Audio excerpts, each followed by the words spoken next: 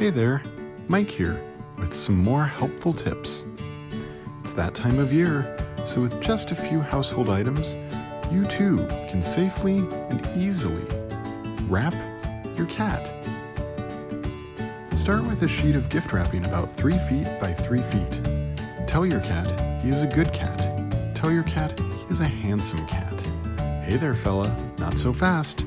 Take one corner at a time and fasten with tape. Okay, enough of that. Once you fasten the back two corners, make sure you have an opening for his tail. Hey, you little asshole, get back here. And that's how you wrap a cat. Thanks for watching.